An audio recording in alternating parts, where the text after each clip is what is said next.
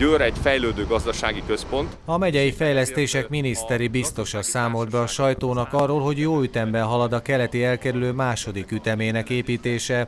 Simon Robert Balázs a helyszínen azt mondta, még az idén át is adják a 3,8 km hosszú részt, melynek kivitelezése 3,3 milliárd forintba került. A politikus szerint Győr számára kiemelten fontos a keleti elkerülő. Pillanatnyilag, hogyha valaki mondjuk Bácsán, Réfalu keleti felében él, és onnan szeretne eljutni akár az ipari parkba, vagy akár a fővárosba, akkor először be kell jönnie Győrbe, részben érintenie kell a belvárost, hiszen a Széchenyi hídon kell áthaladnia, és az árkádnál lévő körforgalomból tud tovább haladni.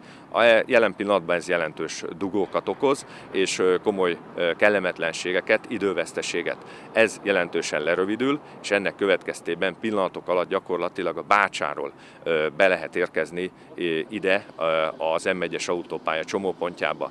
Gőzerővel dolgoznak a vonalút és az egyes főút közötti részen, ahol már az esetleges rossz idő sem befolyásolhatja a beruházás elkészültét, a NIF kommunikációs igazgatója úgy véli, mindennel időben elkészülnek, és decemberben át is adhatják a forgalomnak a keleti elkerülő második ütemét. Befejező részéhez közeledik a kivitelezés. Itt ugye a hátam mögött az M19-esnek az egy kilométeres korrekciója történik, ahol egy új koporéteket is fog építeni a vállalkozó, de magával az elkerülő utal kapcsolatban azt lehet elmondani, hogy a patkának az építése történik most még, a vízelvezető árkoknak a burkolása, forgalomtechnikai eszközöknek a felfestése, kihelyezése, tehát gyakorlatilag csak olyan munkálatok, amik már a befejező részhez tartoznak.